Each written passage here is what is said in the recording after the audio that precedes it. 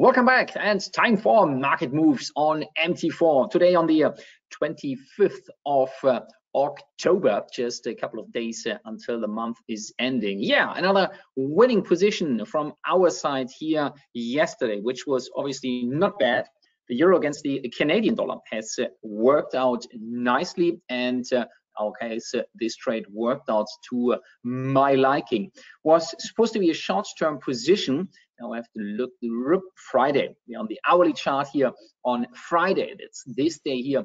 We opened the buy trade. The market corrected a little bit, but seemingly yesterday continued to favor the upside momentum. Now on the four-hour chart, we can see that's what happened here. The uptrend seemingly still in play, and uh, obviously in this case here, the market trending towards higher levels, then kicked us out of this position at the high point. Where was it? Uh, uh, 35.70 something.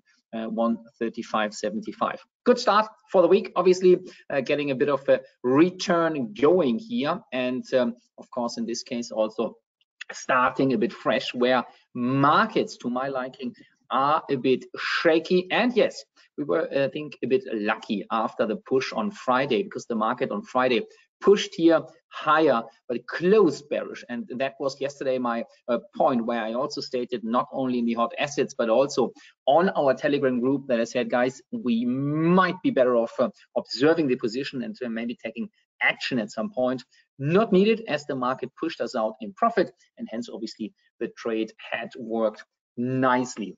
What's up uh, with the oil markets uh, for the day here oil is seemingly just trading sideways. There are some signs it's weakening a little bit yet it's also seemingly well supported. When we at least uh, look at this current area it's also uh, impacted by the daily pivot level so some sort of support might be seen. On the other hand, also the market might start pushing to the upside uh, somehow. However, I don't have any feeling and I would go with the longest trend, which is seemingly telling me that further correction back into this uh, area which I marked with the uh, uh, happiness point here. This is where I see the market somehow in the next couple of trading days rather unless uh, unless I'll see some other views in this case. The push to the upside kind of blocked by the 50 moving average retracement, which was actually looking quite good. And the market uh, basically like two weeks ago looked like it could really push back to the upside. As uh, back, I think towards even Friday, the market looked like this, basically this bearish or this candle which turned which ended bearish that's the correct term here in between looked like this which could have been actually a rather bullish candle right when the market pushes high bit of a retracement and then pushing back to the upside is what I've expected uh, here. But Friday then really caused the market to turn lower acting uh, then on supporting a further bearish momentum here uh, with this market actually being right down in lower areas oil market we got some information maybe from russia which should not be neglected uh, we got the information oops um, that uh, potentially and this guy is not running for the show. Here, Boris Johnson was not uh, pushing through with his uh, kind of re-election after being ousted. Say, Rishi Sunak, the uh, um, uh, previous uh, chancellor of the exchequer has obviously kind of made the race to turn the new prime minister he's going to go to king charles iii uh, today actually appearing and applying for the job in this case legally which uh, seems to work out. The question, of course, uh, in this case here uh, might be if financial markets taking this uh, as a positive uh, support over the next into the next future or the next couple of trading days or weeks. Yet he's going to keep Jeremy Hunt, who is his uh, chancellor of the exchequer and uh, seemingly could support the market somehow further. I wanted to talk about rather actually uh, what we got from Russia. That's something interesting to uh, to uh, kick in here. Um, potentially Russian side, that's from a German news side here, um, Russia is claiming that the Ukraine is working on a radioactive dirty bomb. Uh, there's no documents being or no support being given apart from the potential, how do you call it, apart from the potential propaganda in use uh, in this case. Seems to be quite weird to me as well. Why should uh, uh, the Ukraine use any sort of uh, atomic warheads on their own soil? If so, unless maybe attacking the Russian side, but by all means, this sounds to me a bit extremely exaggerated. But the uh, um, this in this case, it could of course uh, increasingly concern markets as uh, in this case battlefield failures. That's something maybe to concern as well from the Russian side, and the push into the big corner of Russia enables them to really act that bad. Um, the question is on how the situation will move on and on how much and how bad the uh, Russian side will potentially act in this case, or as they claim, counteract against something which I think is not true. But whatever, it doesn't matter what I think. It's just a matter of what we can see and what we get here in terms of the current uh, the current uh, conflict. That would be something which I would say could impact, of course, medium term the oil market, pushing this uh, oil market uh, Uh, higher, and uh, in this case, uh, uh, causing market momentum towards higher levels, causing that there is further motivation maybe for oil to move to the upside. Um, in this case, what else do we look at? We see some sort of a dollar momentum. So let's move back towards the US dollar here in general, the market uh, in this case here moving or retraining, retracing still has not done anything much. And uh, I would say at the moment it's just time to digest further moves. Slight strength of the dollar is what we can observe though we can see that uh, the market motivation here in this case is not giving us anything much as volatility remains quite low. So the story as we've seen and expected it in the recent couple of trading days uh, remains the same. We are uh, trading towards a resistance zone here, moving average looking to be uh, quite strongly helping the market to be in favor of a stronger dollar. And honestly, this is something where I would say we could take into consideration for a short-term trade and we could use this uh, in order to see and uh, trade the market accordingly towards the lower area. I don't want to clear all my trend lines here. Let me check. Um, yes, the ATR is actually quite low. That's the key takeaway here. We have some nice zone if we are looking at this area back uh, based on the hourly chart and we have a nice resistance zone here um, of the height so that could give us uh, something interesting uh, to begin with basically market running off the daily chart into a resistance zone. That's the one thing, but also market running to the downside here, in this case, uh, causing the market to be of a negative in nature uh, in this case after running to this area as based on the hourly chart which seems to break uh, the lows here um, and of course after what we've also seen Monday bullish and then Tuesday, Wednesday, Thursday, the market might run towards downside areas in this case, um, also yields might be of interest. They turn slightly lower. Let's look, uh, let's look at the short-term yields here on the uh, two-year, maybe also for a second on the uh, daily chart, because uh, there I saw that the market has uh, given us a bit of a pin bar here.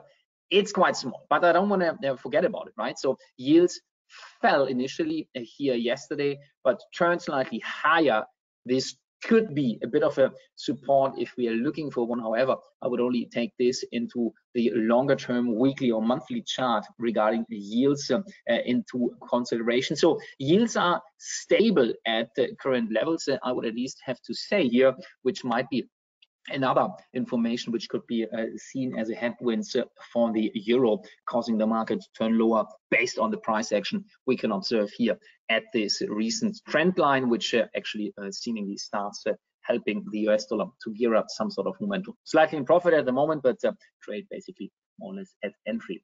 The pound, as I said, regarding Rishi Sunak and uh, uh, Jeremy Hunt regarding uh, uh this, uh, not to miss him, I always uh, mix him up with James Hunt, the old Formula One racing driver.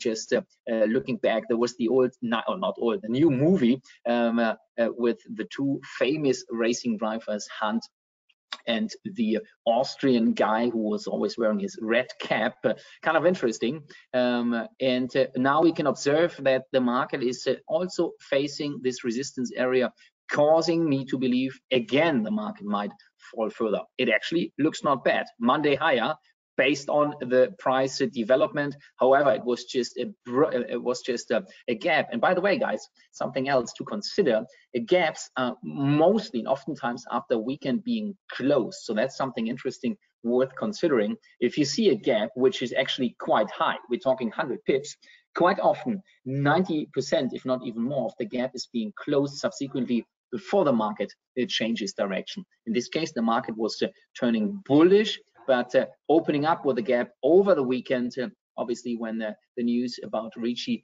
Sunak had already came out uh, um, and uh, pushed higher in this case uh, as the market is uh, seemingly starting to push to the upside and in this case uh, causing anything which I believe uh, might make sense here. So pushing to the upside and then subsequently closing the gap uh, is the uh, is the key uh, takeaway here and the key takeaway is seemingly kind of helping market momentum in this case by really closing it thereafter. Now we are trading in a no man's land, I would say, where else, of course, on the uh, daily chart, the market looks quite interesting to feel and offer further downside momentum, where we could also say uh, the break of the support area here and subsequent push towards uh, all the way this lower area could make up for an interesting uh, trading idea. That's the one which has to be the blue line. It's a bit hidden here. I'm not going to take this trade because I'm on the, I'm in the euro dollar short uh, already right now, but uh, this would make sense for me, maybe even putting the stop loss to the high point uh, in this case. So worth considering here, if you're following up with my trading strategy, I think this makes for a great uh, trading opportunity for my trading account. And actually, this one has still similar targets compared to what we've taken. We've basically sold the market when there was a clear break of this area, stop loss to entry. So we got stopped out uh, with a few pips of profit, if I can remember correctly, on Friday last week as the market turned quite bullish, uh, I think, on the political news, uh, Sunak, and so on and so forth. So that's the situation I would say makes sense here for the uh, pound, and it's really not overly bad.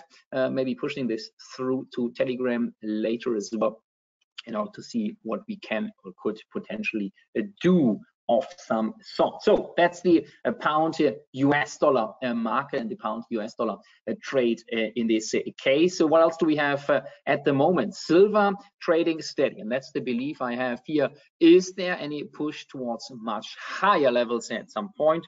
Or will the market here turn back towards the downside, following up with a stronger dollar as we just examined initially, not sure. At the moment as long as we stay in these uh, higher areas i would say it makes sense that the market continues a bit higher. But again it's the same as all the other pairs the currency pairs uh, uh, the euro dollar the pound us dollar among others. Even the aussie actually is uh, weakening a fair bit. Um, that uh, monday higher closing bearish and then tuesday wednesday thursday market could turn towards uh, some lower levels at least potentially What's up with gold? The same as with silver. So also no news in this case. The same candlestick, the same currencies, uh, uh, the same currencies, the same directional momentum I observe here. Still the double bottom, maybe worth considering. Risk reward rise. This could, of course, offer something interesting for us here. Let me move the zones back here. If you would say, okay, entering the market when the market starts breaking the resistance area, talking about a buy trade and having a having a small stop loss. And those are some trades and some traders are really great at it. Finding some situations where you can get a small entry or you can have a, a small stop loss not small entry uh, here say uh, 350 pips of stop loss. Initial target would be 380 pips all the way. Previous support now coming from the bottom turning resistance but if the market continues to the upside we can harvest uh, quite a lot of pips towards much higher levels even 660 10,000 uh, or even more should the market rock towards higher levels. Uh, I did this a couple of uh, trading uh, days ago when basically we had I think CPI this was, when we celebrated the market falling, I closed all the way at the bottom and entered with a small risk or uh, small position size, and the market skyrocketed to the upside. And I kind of had a nice trade towards higher levels. Sometimes a bit of luck obviously also helps you. However, doing your homework right and doing your management right, and I'm talking about proper fund management in terms of money management, where not like all in, risking big is key, but uh, small position sizing is the key takeaway, which uh, I think makes perfect sense here in this current market environment. So dollar at the moment slightly stronger, euro a bit weaker, pound a bit weaker, gold, silver a bit weaker. Oil, uh, we have to see a bit of the geopolitical tensions story.